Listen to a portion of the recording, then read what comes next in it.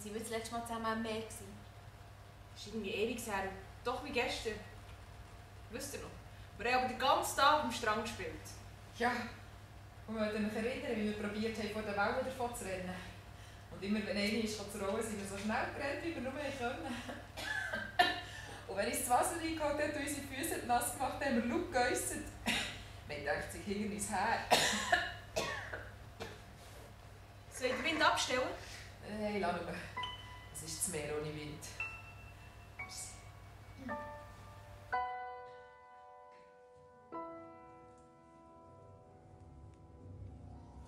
Du hast uns heute Morgen einen rechten Schreck eingehabt.